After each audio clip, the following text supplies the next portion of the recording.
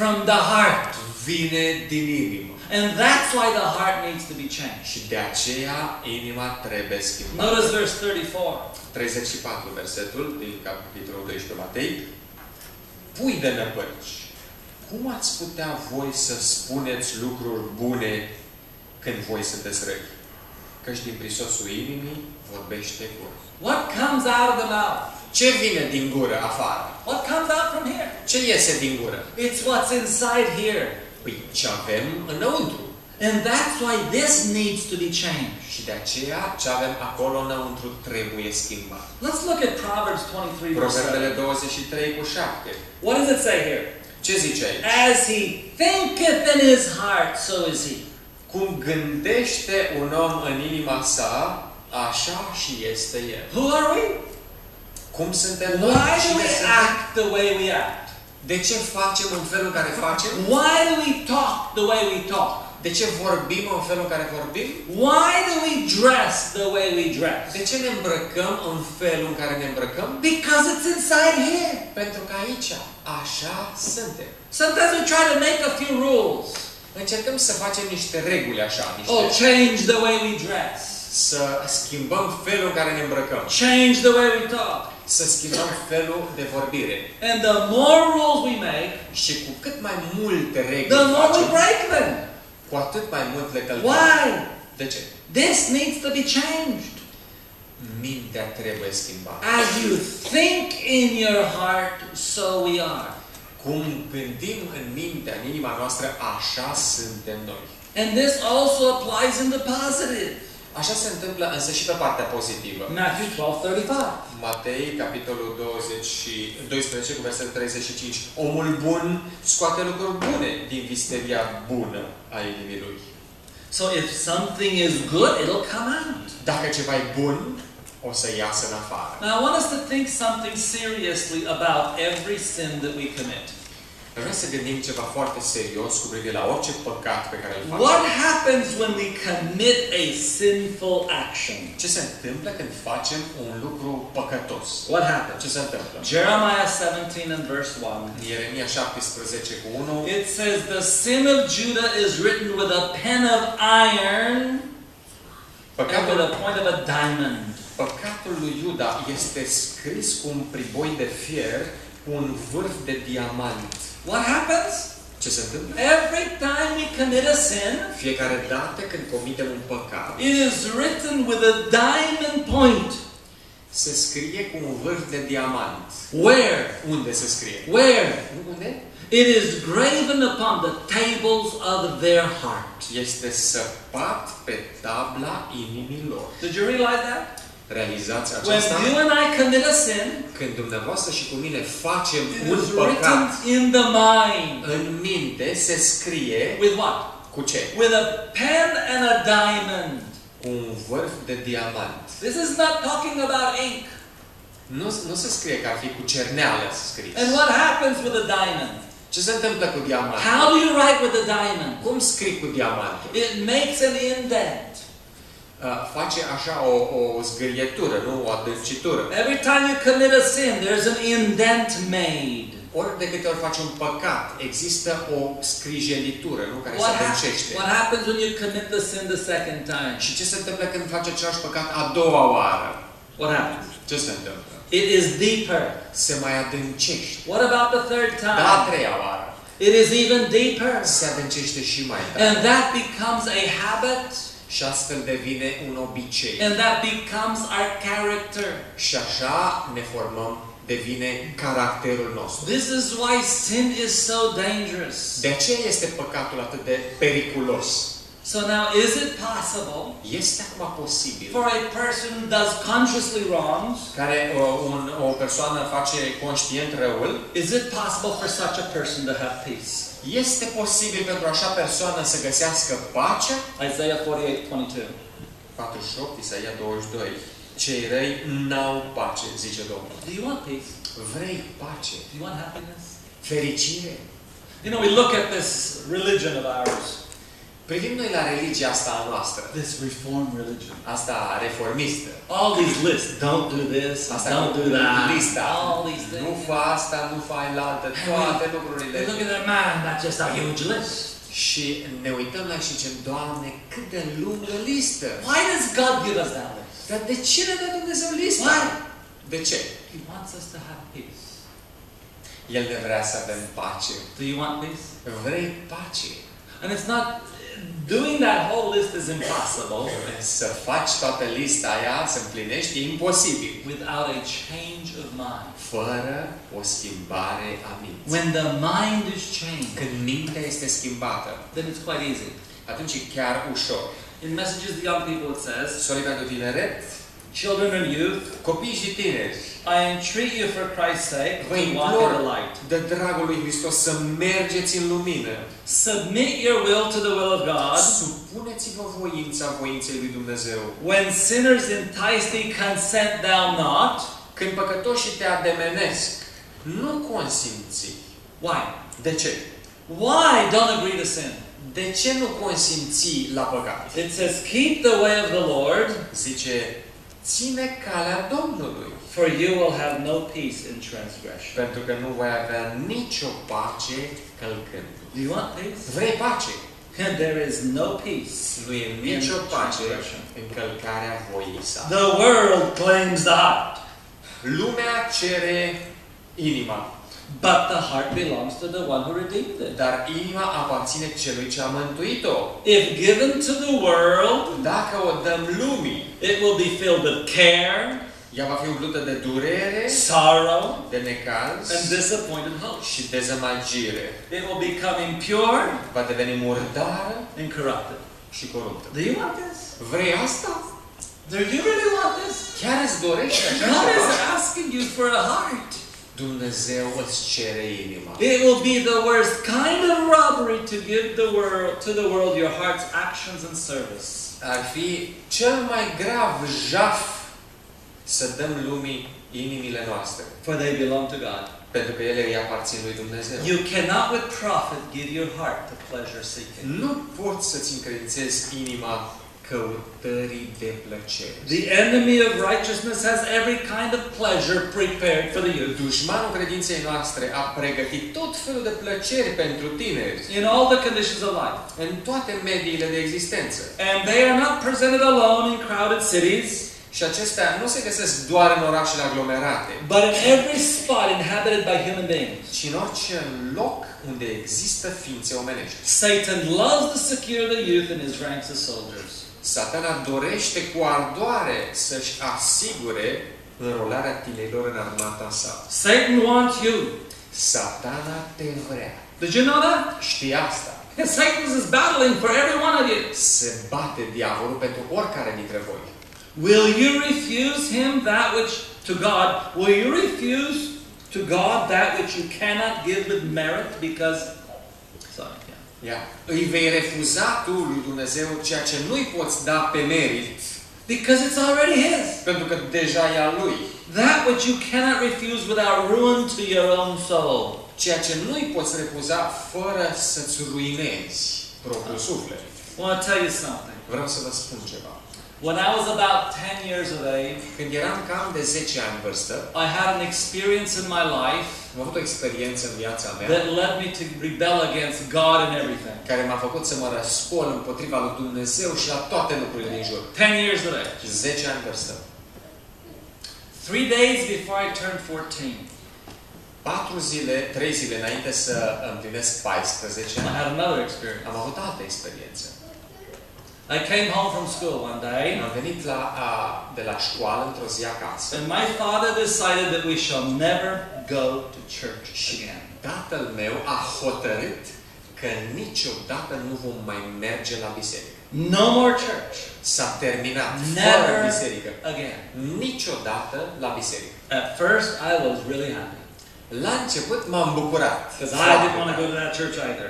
Și așa nu-mi plăcea să mă I duc la was biserică. determined not to go to that Eram church. hotărât să nu mai merg la biserică. And so when my father said, no more church, Și atunci când tata a zis, gata, nu mai mergem la biserică, eram fericit. But then after a few minutes, I thought, Dar după câteva minute m-am gândit, you see, I was in the middle of that rebellious experience. eram în mijlocul acelei răsculări, rebeliuni a vieții mele. And when your father says, don't go Și there, când tata îți spune, nu fă cu tare lucru, it means that's the place I have to go.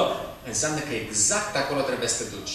So when my dad said, no more church, Așa că dacă tata a zis, nu mai mergeți la I biserică, thought, now I have to go to church. atunci m-am gândit, așa, atunci înseamnă că trebuie să mă duc la biserică. Only as an act of rebellion. Doar ca să mă răscol But you împotriva know, lui. that night, În noaptea I aceea, began thinking, am început să mă gândesc. my entire life I depended on my father. Toată viața am depins de tatăl meu. My father spent three and a half years in prison. Tatăl meu a petrecut trei ani și jumătate în închisoare. My father used to get beaten because he wouldn't break the Sabbath. Tatăl meu uh, obișnuia să ia bătaie pentru că nu voia să calce And I thought sabatul. that no matter what happens, he will pull me into heaven. Și mă gândeam că indiferent ce aș face, mă va lua tata și mă va trage în cer. But now for the first time I stood between God and me alone. Acum, pentru prima dată în viața mea, am fost față în față cu Dumnezeu. And I tell you, I had a different experience that night. Și vă pot spune că am avut o experiență diferită în Standing noaptea aceea. between God and me alone was not comfortable. Să stai singur între Dumnezeu și tine, adică doar tu cu El. For the first time in my life, I stood before God. Prima dată în viața mea am stat în fața lui And Dumnezeu. that night I gave my heart to Jesus. Și noaptea aceea mi-am dat inima mea Domnului. I look back over the years since that time. Privesc în urmă de la acel I've moment watched many of my friends ruin their own souls. și am văzut mulți dintre prietenii mei ruinându-și sufletele lor. And I don't regret that day Nu-mi pare rău de ziua aceea, when I gave my heart to Jesus. când mi-am dat inima lui Isus. You see, all your happiness, Toată fericirea ta, peace, toată pacea, joy, bucuria, and success in this life succesul în această viață are dependent upon gentle trust and faith in God. depind de credința sinceră în Dumnezeu. On what? În ce de Everything. If you want happiness, Dacă vrei fericire, if you want joy, pace, bucurie, it's not trying to find your own way. nu încerca să-ți găsești It's propriul not- tău drum. It's not doing your own will. Nu-ți împlini propria It's voință. coming to that point in life Este venirea ta la acel punct în where you viață stand between you and God alone când stai singur în fața lui Dumnezeu and you surrender your life to Jesus Christ. și îți uh, predai viața ta lui. Are you ready for that? Ești gata să faci asta? Are you ready for that today? Ești gata astăzi? Not tomorrow, Nu mâine, but right now? acum. Are you tired of the direction you're going? Ai obosit deja în direcția în care alegi? Many of us Mulți dintre noi do our own way and will. își împlinesc propriul uh, cel și poftă în viață. Sometimes on Sabbath morning we try to live the best Christian life that we can live. Câteodată, sabat dimineața, încercăm să trăim cea mai bună experiență creștină pe care And o when putem we trăi. go home, we continue with our normal life. Dacă ne ducem acasă, continuăm cu viața noastră normală. Do you really want happiness? Vrei cu adevărat fericire? There's only one place. Nu există decât un singur loc. And that is Și the acela heart este that God wants to give to you. inima pe care Domnul vrea să ți-o dea. In Gospel Workers, page 407, În slujitorii Evangheliei, it la says, capitolul The 407, youth cannot be happy without the love of zice, Jesus. tineretul nu poate fi fericit fără iubirea lui Isus. Can't do it. N-ai cum. Why? Pentru că, de ce nu poți? Because the heart belongs to Jesus already. Pentru că inima aparține lui Isus deja. Jesus has paid for Dom- your heart. Domnul Isus a plătit pentru inima ta He has paid an infinite price. un preț infinit pentru aceasta. Now I have a question for you. Aș, am o întrebare pentru voi. That one, that one. Okay. What is the most valuable gift that you can give to Jesus Christ? Care este cel mai scump dar pe care îl poți face lui Isus? What's the most valuable gift? Cel mai scump dar. You're close. Sunteți aproape. The What mind. Is the most valuable gift that you can ever give to Jesus? Care este cel mai scump dar pe care îl poți face lui Isus? Pe tine însuți. What? O inimă mânjită.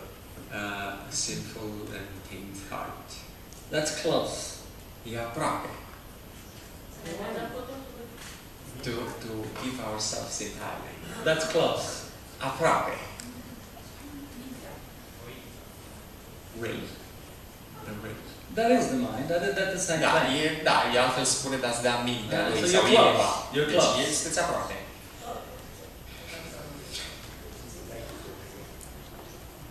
What is the most valuable gift?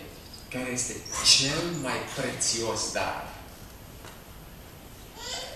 Să venim lângă cruce. Life.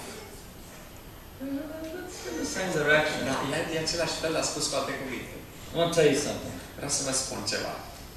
just to understand this Doar așa ca să perspective. înțelegem gândul. Because we need to understand value. Pentru că să, trebuie să înțelegem valoarea. Everything is based on something, right? Totul este bazat pe ceva. So when you hire somebody Când on a an- job, angajezi pe cineva pentru o muncă, you pay them according to value, îl plătești după valoare, right? nu? And you pay them according to value. După valoare îl plătești. So two people may have two different values, Doi oameni pot avea valori diferite, right? nu? So now I want us to understand the most valuable gift that you can ever give to Jesus Christ. Cel mai valoros dar pe care îl poți face lui Isus. Here's what it says in Messages to Young People, Aici zice în page uh, 407. Sobii pentru tineret, A young heart. Zice That's it.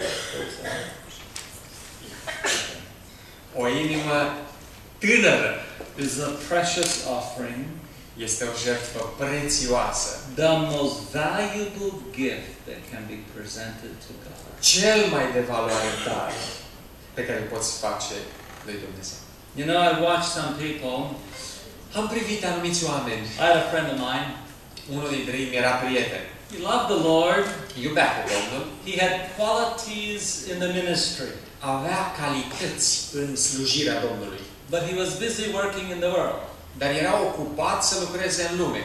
And for many years, Și mulți ani he did not want to give himself a full-time ministry. n-a vrut să se predea pe sine însuși într-o slujire timp întreg pentru I Dumnezeu. told him many times, Și am zis de multe ori, look, you have the world, ai deja lumea. but what's it going to do?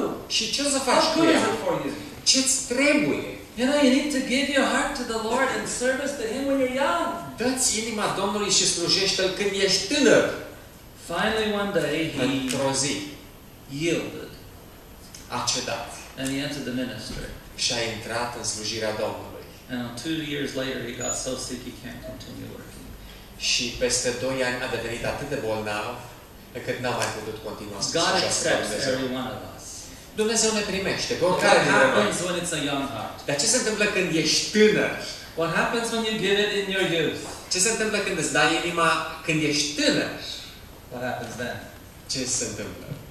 You not only come to the Lord, Vii la Domnul, but the Lord can then use you nu doar că ai câștigat că vii la Domnul, dar Domnul te to câștigă. reach other Te people. poate folosi să ajungi la alți oameni. The question I have for you today Întrebarea pe care o am pentru dumneavoastră astăzi. is do you really want to have peace and joy? Chiar vrei să fii bucuros și fericit? Not just in the world to come. Nu doar în lumea viitoare. Christianity is not just for another world. Deci creștinismul nu e pentru uh, împărăția cerurilor viitoare. Christianity is for this world. Creștinismul este pentru această lume. Do you want to have peace, Vrei să fii în pace, joy, bucurie, and happiness? fericire. There's only one place. Nu e decât un singur loc. You will never have it by giving Him 99%. Niciodată nu o să dobândești dându-ți doar 99% din ce ai dat. It's 100%. 100% trebuie. Right now, I have a question for you. Exact acum am o întrebare pentru Is tine. there something you're still holding on to? Este un ceva de care încă te mai agăți? Has God asked you something and you're still hanging on? Ți-a cerut Dumnezeu ceva și încă îl mai păstrezi, God says to you today, Dumnezeu îți spune My astăzi, son. fiule, my daughter, fica mea, give me your heart. dă inima ta. Amin.